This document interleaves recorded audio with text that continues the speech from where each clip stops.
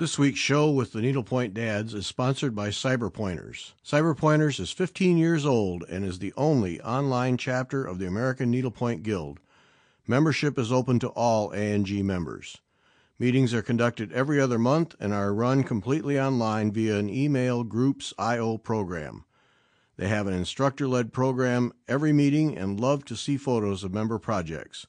Upcoming meeting programs include Earth Spiral by Terry Bay, Fibonacci Swirls by Olivia Hartshorn, led by chapter member Kathleen Brennan, Stash Sampler by Melita Glavin, and Stars and Stripes by Jenny Walter.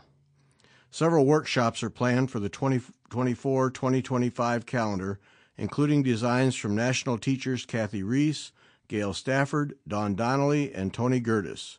Be sure to check out Cyberpointers website at cyberpointers.org or contact a Cyberpointers board member for all of our exciting current and future offerings.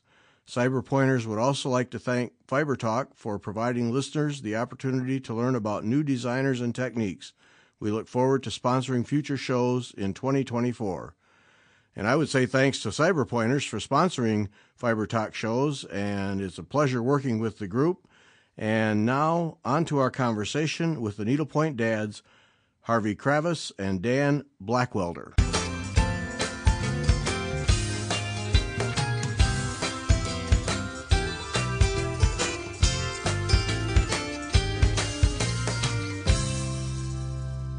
Welcome back. I'm Gary Parr, and you are listening to Fiber Talk, the twice weekly podcast for needlework artists.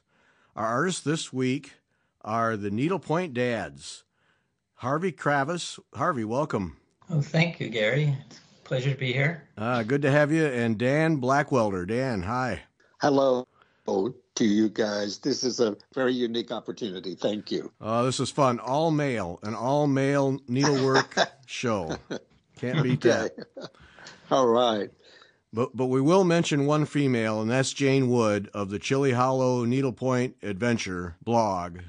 Uh, Jane, uh, very instrumental in helping us, uh, helping make this happen and providing some background information. So thanks to Jane.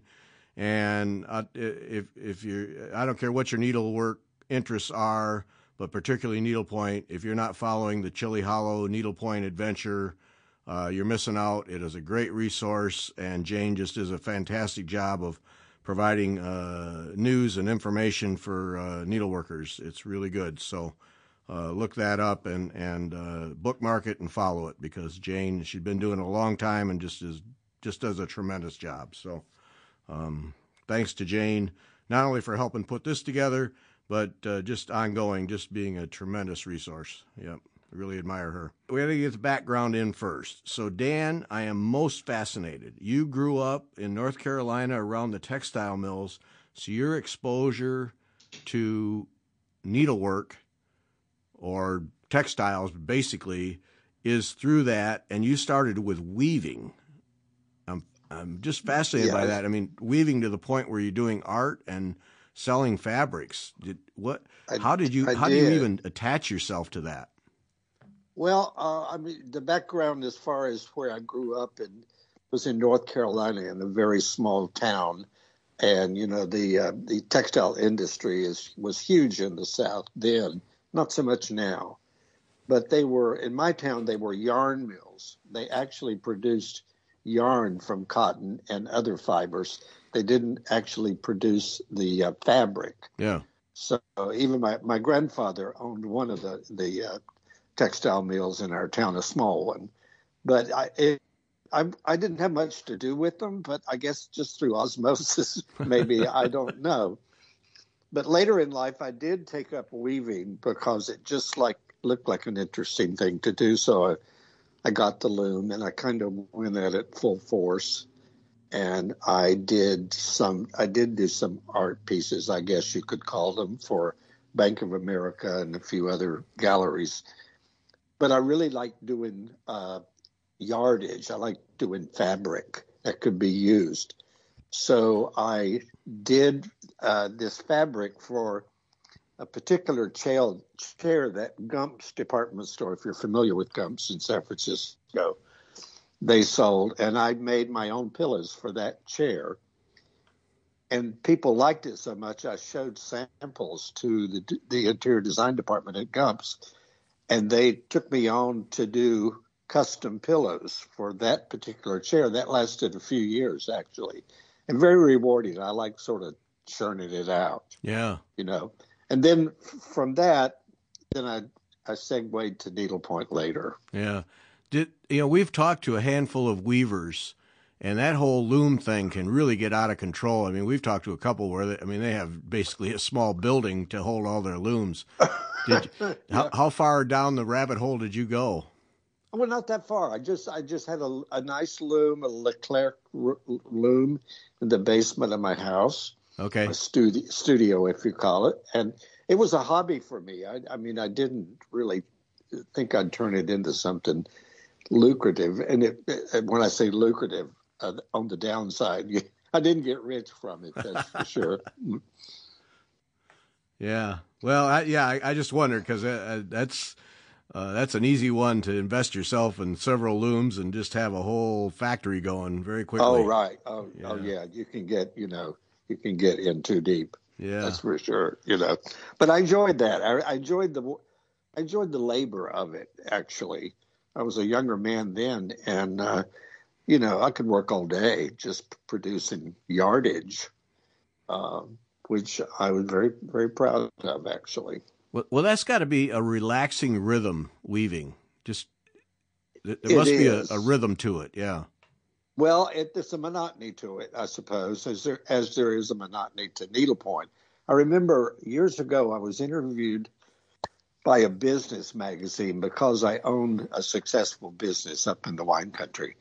And they said, if you weren't doing this job, what would you like to do? And I said, I think I would enjoy being on an assembly line doing the exact same thing over and over all day long. And he was shocked to hear that, but it was kind of the truth. Uh-huh.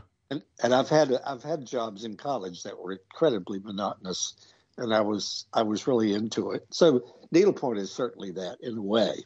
Yeah. Oh yeah. Yeah. You you can let your mind go free. Yeah. Exactly. Yeah. Exactly. So then, then you picked up needlepoint. How how did that happen?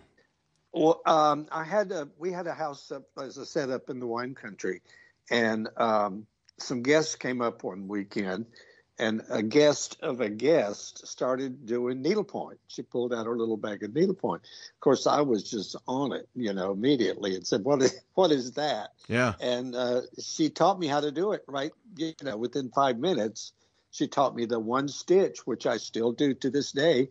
I don't know any other stitches. I, I mean, on these websites and these, uh, and hearing Harvey talk to other people, I know there's this infinite number of things you can do. I'm either too stupid or not interested.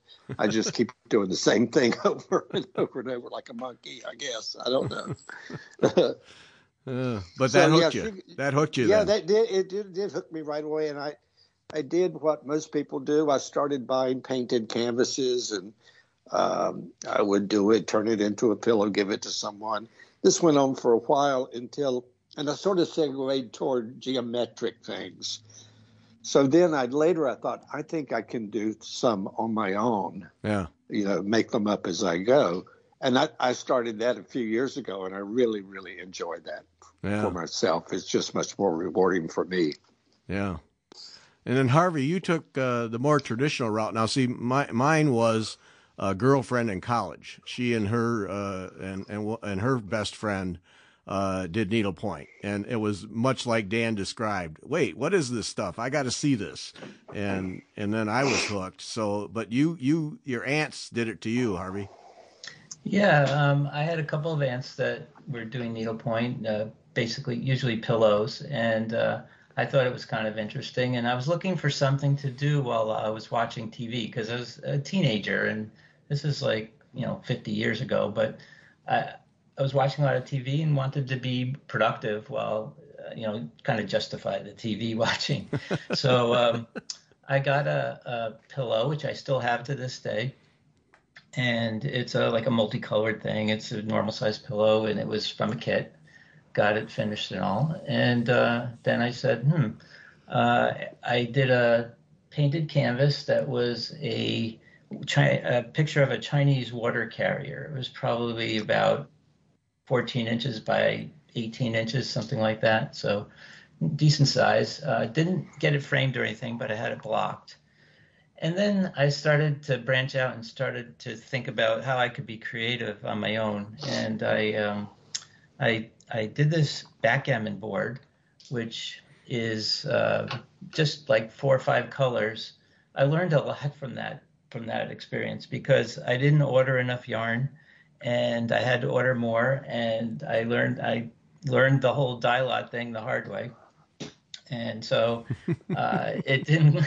It you, it's noticeable, but it's a cool piece, and um, it has some three dimensional dice on it. Uh, it's and it's uh, you know fairly vibrant colors, um, but. Uh, so that and I also the other mistake I made with that, or at least in my mind it was a mistake, was I put glass on it and it wasn't museum quality glass. It was uh, you know, just regular glass. So it's it's very hard to take pictures of it. There's always a glare coming or reflection. Um, not not the greatest, but uh, I thought at one point maybe I'd use it as a real board and play with it, uh, but that ended up not being the case. So yeah. Yeah, in the picture you sent, uh, uh, I, I I felt your pain. Yep, there's just there's no way to get rid of those reflections. Nope. It, yeah. uh, you can hold it at 15 different angles and it's never going to go away. Yeah. yeah. Yeah. it's so it's so interesting because we, we all basically came from the same thing and a long time ago, uh, but pretty much the same origins in one way or another, and yet are still do and are still doing needlework. And um, I know for me it was like I said the the girlfriend, but um, uh, you know I I struggled for a long time. Actually, I struggled till I got older uh, and just didn't care anymore uh, with the whole, you know, men, male doing uh, basically what's a woman's ho- hobby, sewing, you know, sewing as my dad would call it. Um, and, uh, um, you know, I just kept it quiet. I did it because I really enjoyed it, but I just kept it quiet. And of course, family members knew, but um, uh, I, I just always struggled with that. And it was, you know, it was, I don't know, 15 years ago that I finally just decided, hey, I don't care anymore. I enjoy it and I'm doing it. And um, uh, did you guys have any of that or is it just didn't bother you? Harvey, Harvey, you want to go with that? Oh, sure. Yeah. So when I was young, I, you know, and starting out with it, it, it the question did cross my mind is like, am I going to be ridiculed for this? Is it, right you know, uh, what are other people going to think of it? And uh, I took, um, you know, Rosey Grier, as you know, was a uh, inspiration to me for doing this because he was this big yep. monster of a football player. yep. You know, and uh, he just like came out and said, "Yeah, I do needlepoint on the airplanes when we're traveling from game to game." And like I said, "Wow, if, if he can do it, I can do it." And yep. that really that was the nail in the coffin for me to, you know, not worry about what other people were thinking. Yeah, Ro- Rosey was my hero. He he gave justification because if you're going to argue with a 300 pound football player, then I'm justified. Yeah. Yeah, yeah. named named Rosey. Right. right. yep. Yep. Yeah. He, I wonder. I wonder how many male stitchers throughout the years uh, have leaned on him as the uh, you know, a lot. I yeah. think a lot. Yeah. Yeah. Leave me alone. Rosey Grier does it. I can do yeah. it too. Yeah. Yeah. Yeah. No, it. Um, but now you guys uh, strictly needlepoint then. What do you mean strictly needlepoint? I mean, mean other other stitching you, things. Yeah, or? you don't do other techniques. No, I don't. Yeah. And I don't either. In fact, uh, it's it's fascinating to me, as Dan mentioned before, all the different types of stitches and until I joined uh, some of these Facebook groups, uh, Needlepoint Nation in particular, uh, I didn't even know that these things existed. I mean, uh. I, and I, and I, I don't even know if you could classify the type of stitching that I do because the the the pieces I do are large, have many many colors. I'm constantly changing colors and threads, and I, I don't even think it, basket weave, for example, is possible in in the types of uh, in the detailed uh, co- amount of colors that I have in, in small spaces. It just I have to I, I have to you know go wherever it leads me. yeah, no, what what you do is particularly the old master paintings. Uh, I mean, to me, that's no different than a full coverage cross stitch, where uh, you you have to have those small stitches to to get the shading and all the little detail. There's no way you could put a Jessica stitch in there and have that work. it just wouldn't do it. So yeah, what what you're doing, yeah, you're you you're with basket weave or tent stitch or whatever uh, version you use. Yeah, you're kind of right there. so Dan, Dan, you did you did something that that fascinates me in that you went into designing your own creating your own designs and that's that's a for a lot of people that's a huge leap. Most people never make that leap from doing other people's work to uh, to creating designs. Was that just uh, you just had visions of, of what could be stitched and just started doing it or well I, I i guess so you know that i've been asked that a lot and um I think what, like I said, I was interested in geometric pattern. So it was an easy thing. I, I couldn't do a picture of a flower on my own. I wouldn't know where to start. But uh, if things are, straight lines interest me, I guess. I don't know. Um, but yeah, I don't have much in mind. My usually my things are driven by color. Mm-hmm. Uh, I might say I want something in reds, and I'll use like six different reds to to achieve that, and it, it, they come out they came out pretty well. It's interesting you you brought that up because I've been doing needlepoint for a long time. I'm an older guy, and um, one day I thought I, I I'm on Facebook with some of my friends, and I thought I wonder if there's a Facebook club or something. Well, how stupid am I? You know, I, of course there are. There's a club for everything you can mention. Probably some of them illegal. But um, so I went on there and, uh, and, and found Needlepoint Nation, and, I, and they want you to put up something. So I put up this one I call Once Around the Sun because I had just completed it. Well, and the response was, I guess, overwhelming. I didn't know what to expect. But a lot of people were fascinated with the fact that it was a free hand. Yeah. And so everything I've put up uh, has been freehand, and I get lots and lots of comments about that. Yeah. Do you have formal art training that because I mean your colors come together quite beautifully? Uh, well, thank you. No, I don't. No, no, I never had an art lesson in my life. You're one of those. Okay. one of those. But if could I go back to something else you mentioned? Oh, do, sure. Do do allow that? Oh yeah. The, Help yourself. About the male thing because I think part of this whole interview is because we're got two guys, right? Well, yeah. You know, and it sounds like you were what I'd call a closet stitcher. Yep, right? pretty much. Yep.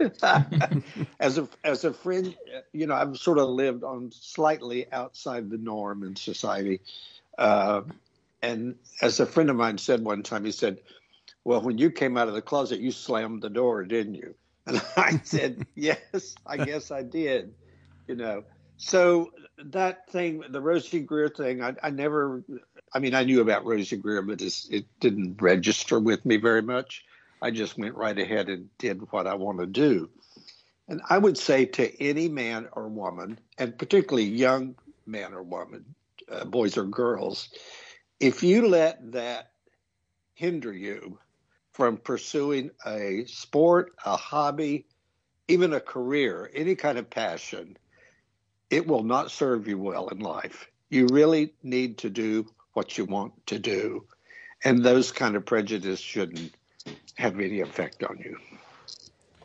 Yeah, yeah, I would agree. I would agree with that. Yeah, but yeah, like for me, growing up, uh, I grew up in Michigan, and um, you know, my dad was a, a bow hunter, and you know, it was all sports and hunting and cars and all those you know those manly yeah. things, and for me to even mention needlework was yeah just yeah closet stitcher. Yep that's pretty much that was me. Yep. Okay. Yeah uh, there might be other closet stitchers out there. I'm asking them to come out of the closet and join us you know.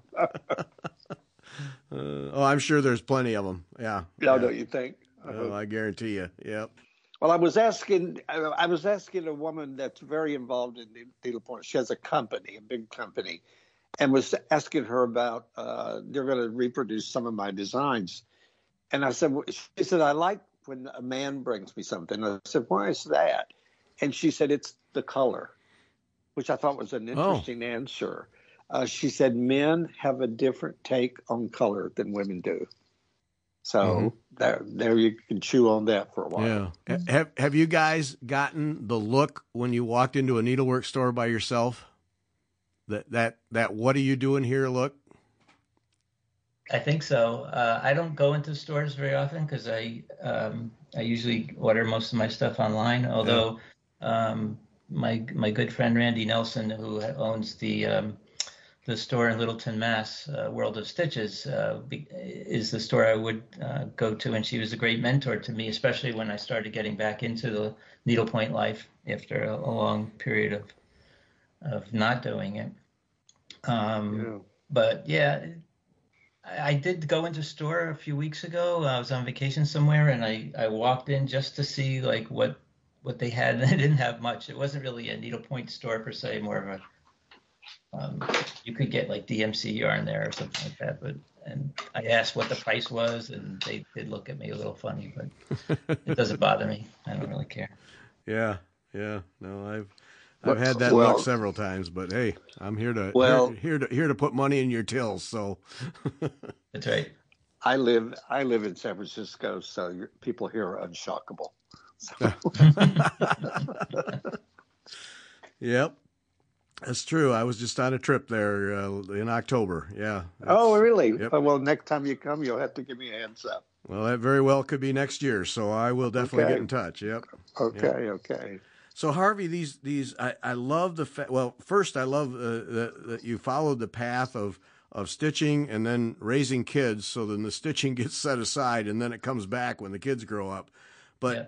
But the the work, the collaboration, if I can call it that, with your wife, who uh, you know over the art history and the old masters, that's got to be really fun to do. Uh, working with your wife and developing these things. Yeah. So. Um, I, after uh, my mid to late mid twenties, and I got married in my I was 27 when I got married, just at our 40th anniversary last year. Hey. Um, you know, I I had a 27 year gap with no needlepoint. You know, um, two two beautiful girls. Uh, very proud of them. They're all grown up. They live near us, uh, near in the Seattle area.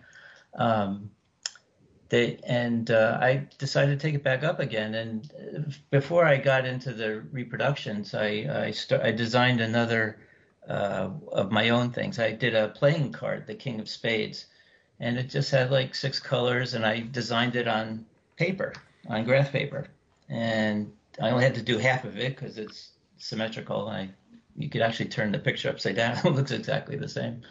Um, and then after that, I found some software and uh, uh, called Stitchcraft, and I did some small pieces uh, with it. I did a New England Patriots logo, which was my my favorite team at at the time and still now.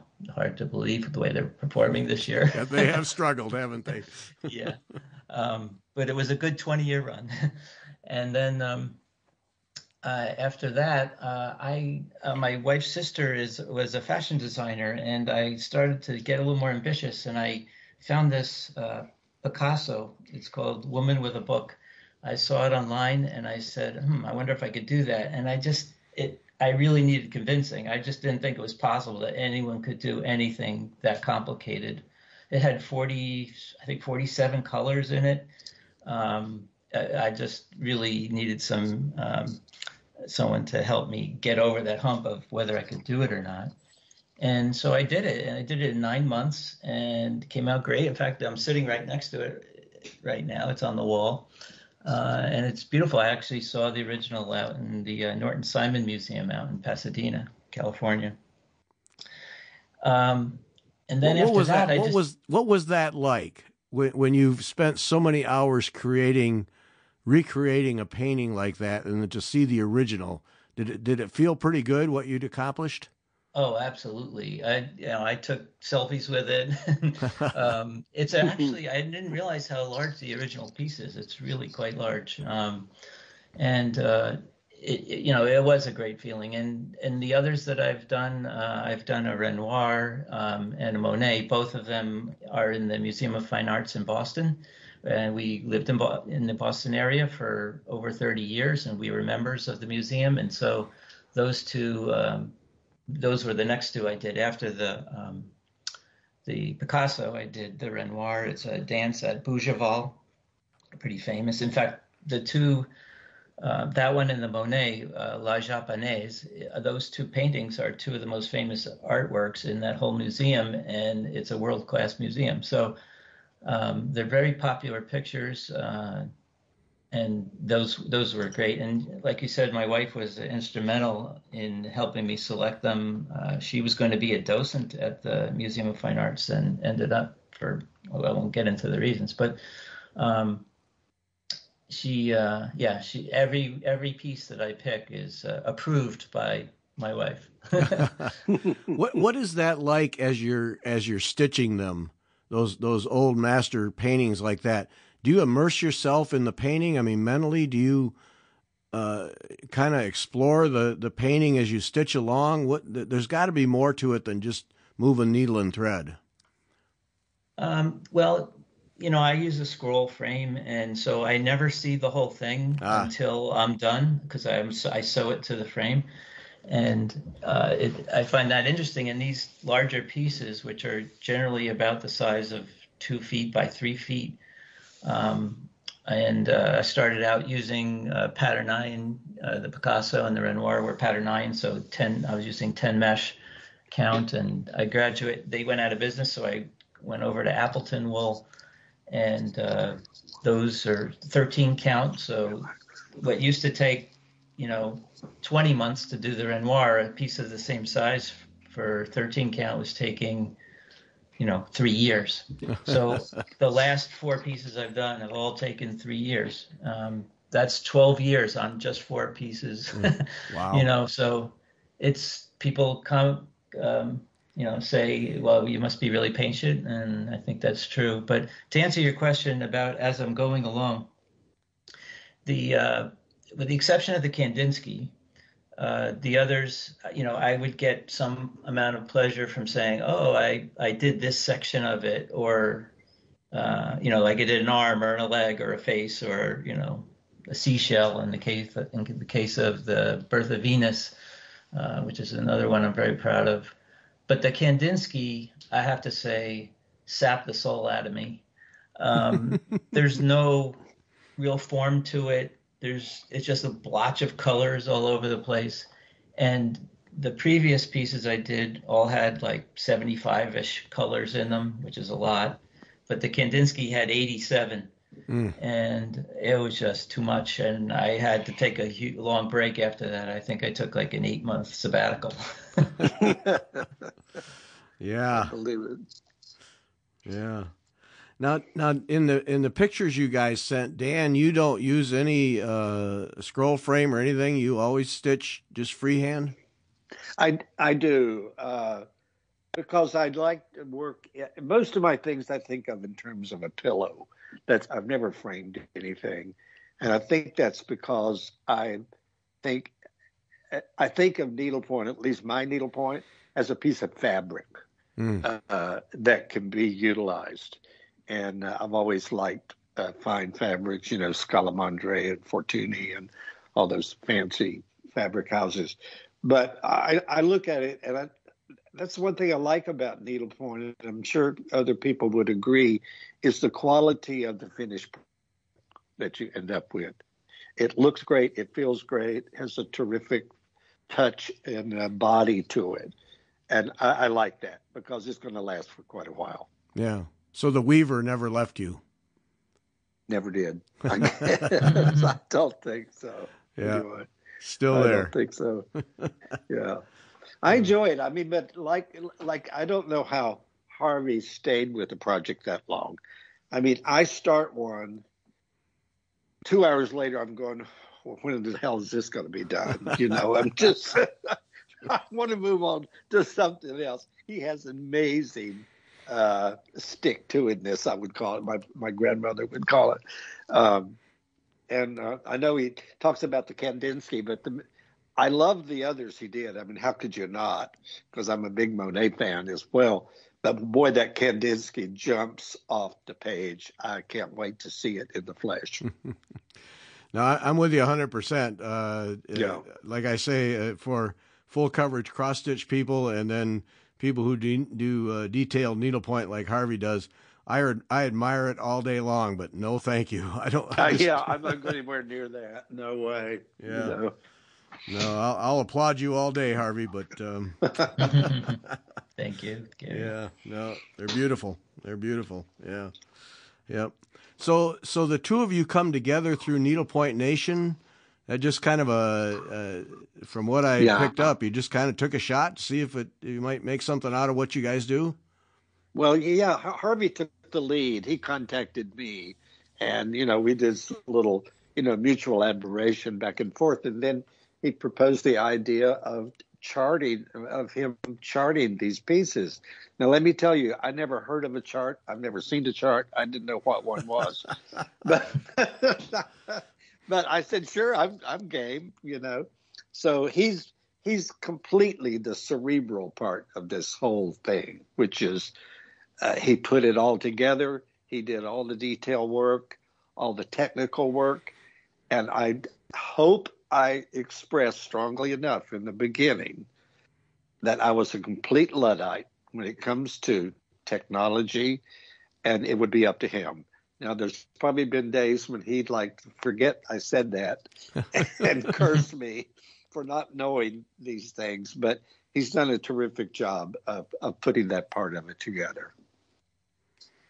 Yeah, eh, you know, I, like Dan said, we were both admiring each other's work, and you know, I, I, I also noticed there were a lot of comments from people in the Facebook group like, oh, are there any charts available for this? Or I, I would like to do, you know, reproduce it myself. And, th- and there was just so many likes and positive uh, feedback. I thought there there might be some, you know, business case for it. And uh, so I, like he said, I, I suggested that I could do this. Now I had all of my pieces before like all the major uh, reproductions were all done using the software, but I would import a, a digital photo oh. and it would co- convert it to a pattern. So I'm not I'm not actually charting all these uh, these uh, pieces in detail. I mean, I would start with maybe a hundred colors and then pare it down by combining light colors together because obviously the fewer the colors, the easier it is. But I never really like built anything from scratch. But now with Dan's stuff, you know, he had I, either via pictures that um, online or he's actually sent me most of his pieces. Um, I so I have them in hand. I'm actually starting from scratch, a blank canvas, and I'm counting how many stitches of ecru and how many stitches of black and how mm. many stitches of this color blue, and uh, painting the whole thing basically. And one of the things that makes it a little easier in some of the cases is that there is repetition. Um, there are patterns, and I can basically copy and paste uh, a lot of it. So that makes it go a little faster. But um, the simpler designs probably I can do in an hour. Um, the harder ones take days, and you know upwards of 16 to 20 hours probably. Yeah. I wondered if you were able to copy and paste uh, segments because uh, I mean Dan, Dan's designs are uh, the patterns are they're visually dense. If I if that's I, I don't know if that's a good description. Um, yeah. But uh, yeah, I mean, there's a lot going on, and you know your your eyes start to move around, and know, I I've had fun looking at them. Um, yeah. But so so you are able to to save some time by just taking chunks and repeating them. Yes. Yeah. And and um, you know, the software has like uh, you can draw shapes, certain shapes with it, like squares or circles. Uh, I'm not haven't had to draw any circles, but mostly rectangles and stuff. And then you can use a, a fill, you know, like a you know fills the rectangle with a certain color. Um, and yeah, I do a lot of copy and pasting. It, it makes it go a lot faster. I learned a lot as I went along when it, since I first started doing his pieces, so I can do them quicker now. Yeah, I'll, I'll bet the initial ones were uh, a process. yeah. Yeah.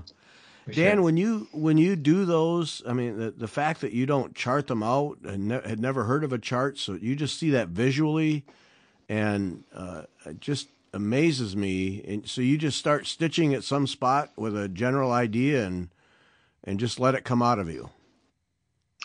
I, I guess so. Um, I, I love. The, I like the term you just used, visually dense.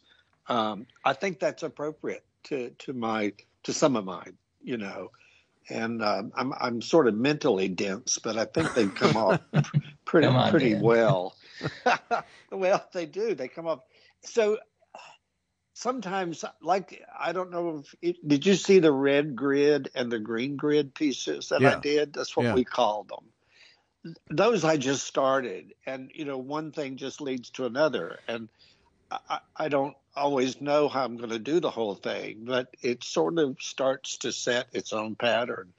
And they are repetitive if you really look at them very closely. I think in initially, somebody looks at them, it's just sort of an overwhelming uh, jumble of whatever. But if you look at them really closely, there's actually patterns in there that carry through on yeah. most of them. The most challenging one, I think, was called Once Around the Sun. And that's where it starts off in dark blues and segues into bright orange and red.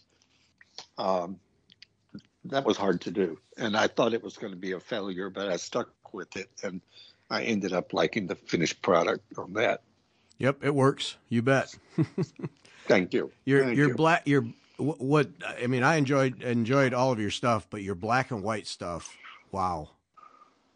I like black and white. Not, I think, I don't think many, many uh, women stitchers were drawn to the black and white very much. Yeah. Uh, as, actually, I've been trying. Harvey and I've been trying to rethink uh, some color approaches that I could take, and uh, we're getting ready to post one that I I really like a lot. It's simple but the colors are kind of a deviation from what I usually do. Um, and it's going to be called Fiesta, so it has a Mexican kind of feel to it. Mm-hmm. Um, I, am very. I, you like it, don't you, Harvey? I think you I do. Anyway. Yeah. Yeah, I think it's good. Um, there's uh, some simpli- simplicity to it, but right. it's it's, um, it's a nice piece. I think people Thank like you. it. Yeah. Thank you. Yeah, no, the, the, the black and white ones, uh, every one of them just stopped me. I just, uh, uh, I enjoy that, that's, that, I guess, uh, not lack of color, but it's the, it's the contrast and the patterns then really can come out. And, uh, yeah, I, I just really enjoyed those. Well, thank you. I, I, I did, I was doing a series of lumbar pillows, you know, they're sort of more horizontal, small pillow yeah. For my dining room chairs, and I thought, well, do them in black and white, then you don't have to worry about it uh, clashing with anything down the line. You know. Right. Right. You know, it's kind of interesting as I'm doing some of these charts that I've, I have, I, this is probably not a completely accurate description, but I feel like sometimes I have a little bit of an out of body experience in terms of I feel like I'm in brain, Dan's brain a little bit, you know, in terms of I say like, oh, I see what you did there. That's really good. Yeah. like, oh yeah. How did, or how did you even think of that? You know, it's uh, it's a fascinating experience for me. It's fun. Well, I know that mushrooms grow uh, up there in that wet climate you live in, so you should be careful about that. okay. uh, you mentioned uh, there, there was mention uh, your your African inspired designs, Dan. Uh, how did those come about? Did uh, some experience in Africa? Or... Well, I've never been to Africa. Okay. No, uh, one of the few places I haven't been, and um, I, I, I, thank you for mentioning those. They are among my favorites to this day. I like the I like the way the design came together and I can tell you briefly what that's based on. It's it's a part of my weaving uh, history. I was sort of fascinated with backstrap looms. If you know what those are, yeah, mm-hmm. they, they yeah, like nomadic people tie this thing around their waist and then tie it to a tree, and they they weave in a very small strip because they're nomadic people. They've got to pick it up and take it with them. So after they get enough of those strips, then they sew them together and it makes a p- piece of cloth. And it's a typical way that some African tribes made a finished piece of cloth. And I always thought it looked terrific because they don't particularly line up with one another the way uh, most conventional fabric designs do. Yeah. So if you look at it, it's that's what I was thinking: a strip here, a strip there, a strip there, and I put it all together. And I tried to use colors that are sort of uh, endemic uh, to to Africa, earthy kind of colors, and I really am very happy with the way those came out. Yeah, they're very nice. Yeah. Thank you. Thank you very yeah. much. You know, the the backstrap loom fascinates me because you, you, you look, you know, you think back in time, how did people even come up with cloth? And you know, well, right, the exactly. innovation to just figure out some device, tie it to a tree, and you know, we, we can put together some threads and make a cloth. Yeah. Yeah, like the first person who ate an oyster. You kind of went, "Wow, that's amazing. yeah. brave, brave people trying new things, you know. yeah. So, uh, uh, Harvey, do do we offer through Needlepoint Dads your uh, old master designs as charts too, or is that not yet on the board? Well, there's two things holding me back there. Um, one is uh, a sense of pride, I guess. The fact I, I kind of always wanted them to be one offs and not be reproduced. Oh. Um, I they're this way they're kind of one of a kind. Um, I don't I don't wouldn't know how to price those charts for one thing and another thing. Um, and the other thing is, is that it, the software which recommends the amount of yarn to use number of skeins to order, um, was not very accurate for those. Ah. And I ended up having to reorder quite a bit. And so I don't feel comfortable putting out the charts um, with the skein recommendations that, that those charts have. So it's unlikely yeah. Uh, that'll happen. I am. Uh, I actually. Uh, we talked about the backgammon piece. I I did a chart for that, and uh, we may be offering that on the site um, soon, or in maybe in a couple of months after we uh, run through all of Dan's stuff. Um, so that's a thought. We might we might do that. Yeah. So there talk another about, piece. Oh, sorry. Go ahead. Uh, talk about how how you guys got your heads together and said, "Hey, uh, Dan, you got some designs. Let me chart them." Um, did you was it uh, let me chart them and then later let's do a business or do you say let's collaborate and do a business? We can sell these things. Yeah the latter. Um, i said there seems to be some demand for your work. Um, i can chart them. I'll do all the work. You just sit back and be the creative genius. And uh, that and we'll have a 50-50 partnership. And i certainly put way more hours into it than dan does but um, you know we're both retired and we have the time and for me, it's a labor of love. I love doing the charting. Um, I'm a technical guy. I had a, a, career in the software industry as a software developer for close to 40 years. So um, I was able to create the website. I may just use a, um, a website from Squarespace, and um, I, I got help from my daughter, who was a UX designer, and she helped me design the site a little bit. Um, and it's funny the the name Needlepoint Dads came from my older daughter, who had suggested that um, she wanted to do some social media to, um, you know, sing my praises as Needlepoint Dad, and that never really happened. So when this uh, venture came about, I said, "Well, that sounds seems like a good good use of that name." So we pluralized it and came up with Needlepoint Dads. And and Dan, you just you just sit there and crank out the designs then. yeah, I'm the I'm the workhorse. You know, he's the brains. He's he's re- he's really a smart guy, and I mean, I'm not saying just because he's on this interview. I can tell you he's really, really a smart guy. And his whole family is, I don't know what happened up there, up there in Edmonds, Washington. This bunch is pretty talented, you know, his daughters and their spouses. And uh, I imagine the little grandson's not going to be much different. Have you guys ever been in the same room together? Never met. Never met. No, I we know. met online like in last I uh, know. June, maybe I think. Just like the whole world meets people, I suppose, you know.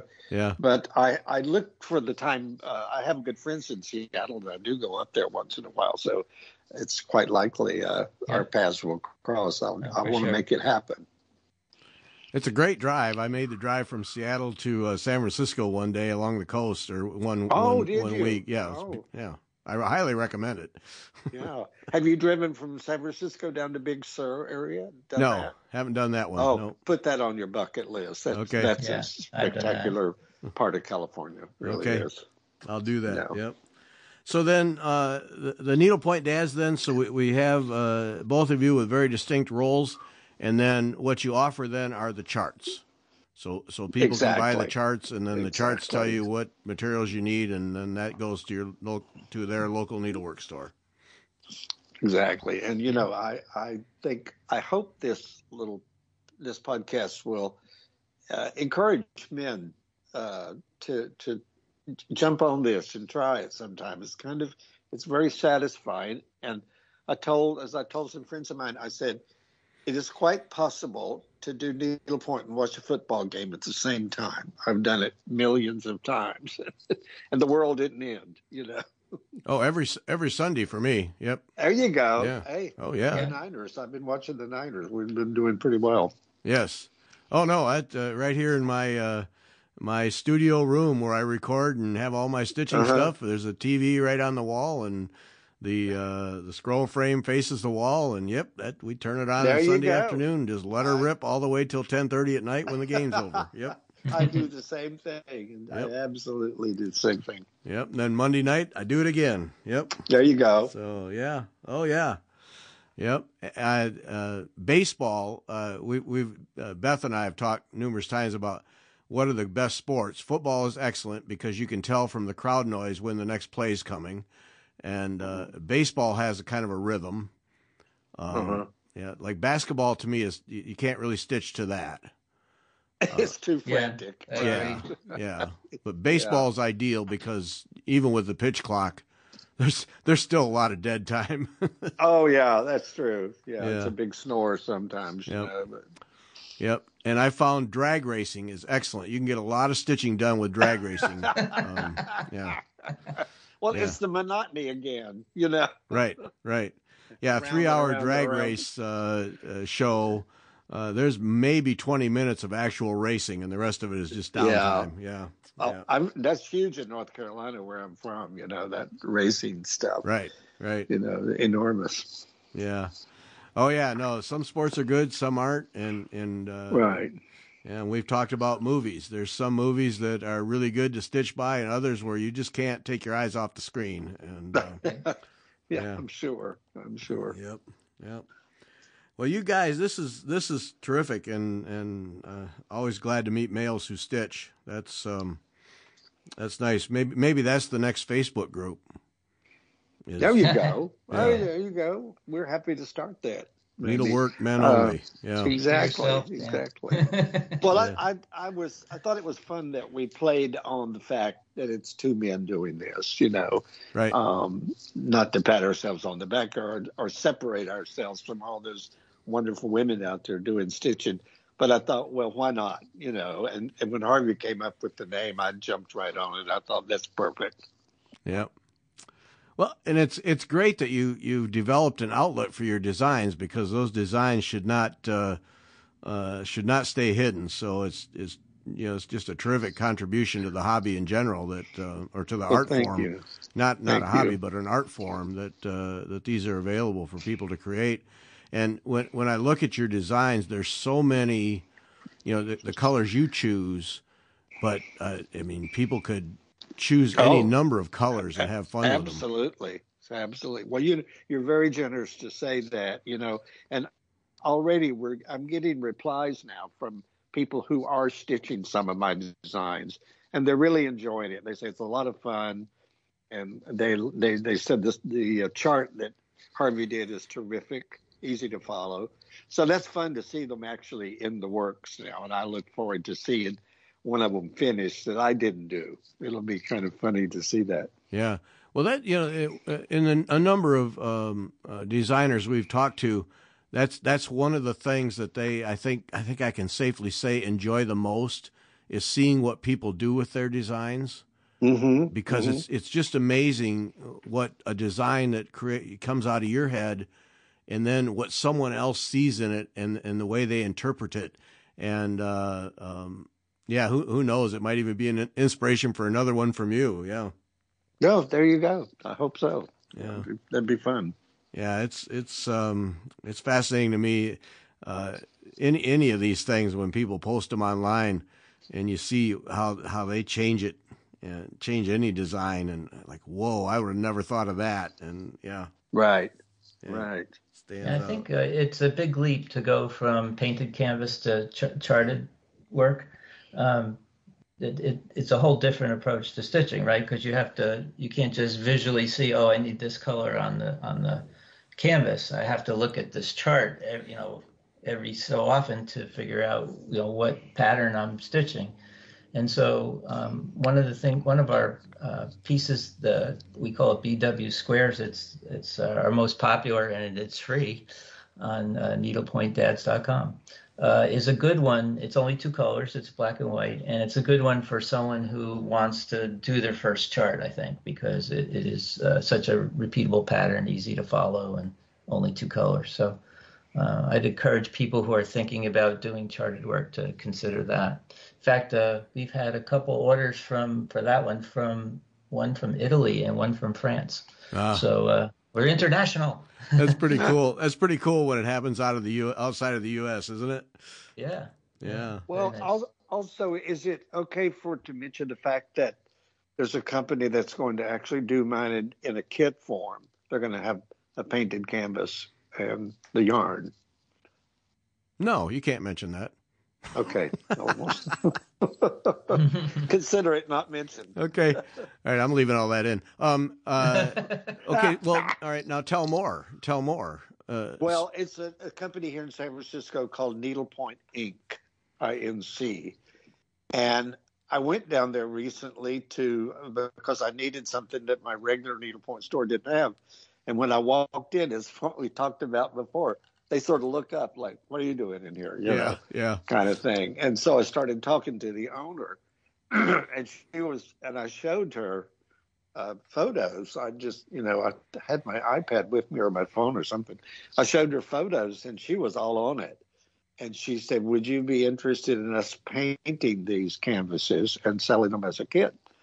I said, "Well, I need to check with my the CEO up in Seattle, and uh, so Harvey's involved in this too. If if if it, if something comes of it, and they said they might have some things available in January.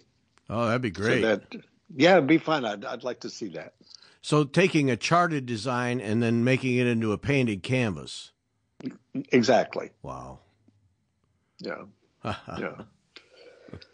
So she has this woman that uh, paints. Uh, she showed me some of the things she does, and it's kind of amazing. You know, it's yeah. uh, it's just you got to be real careful about where the where the paint goes. Right. You can do it, I think.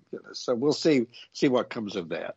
Yeah, those people who paint so you can actually needlepoint and the stitches are all go in the proper holes. That's impressive work. I know. Yeah. It is amazing. Yeah. I'd rather count them. yeah. So then, so then, uh, when that happens, then that'll be available through your website too. I think we'll put it on there that it's available from Needlepoint Inc. But we'll we'll, we'll push it to our yeah. website. Oh, okay. Yeah. Okay. It'll and, be different. And then the charts that Harvey creates, those are are download or print or both. It's download. Yeah. So they when they uh, uh, order it online, uh, they have the option of downloading. It's a PDF. Um, so they just download it and they're, they're on their own for printing it. So, right. Yeah. Yeah. Well, that nothing wrong with that. Yep. Yeah, it it's a good format. I mean, it has a picture of the piece. It has um, a layout of all the panels that are, comprise the picture, um, so you know what order to do things. And it has the all the different colors with a legend and uh, the catalog numbers of the type of yarn, which in in our case is uh, DMC uh, Pearl Cotton Three. Um, but there's nothing to say you can't, you know, use the same chart on a different size mesh count. Uh, most of Dan's work is done on 12, but I know 13 might be a little more popular. Some people may be doing it on 13. The chart still works the same way. You just get either a you know a, a smaller or bigger piece depending on what you choose, and uh, they can certainly change the colors as well if you know if they want. So, right, um, yeah, yeah. You know, I was I was thinking, Harvey. You know, we are this this uh, chart this uh, canvas size you and I have gone back and forth on all the time, and everybody seemed to think 12 is hard to get. Uh, my shop gets it for me. I don't know if they special order, but one reason I think I like it is that's the size that's comfortable for me with my eyesight and my ability. The other thing I like about it, I just realized, is it's div- divisible.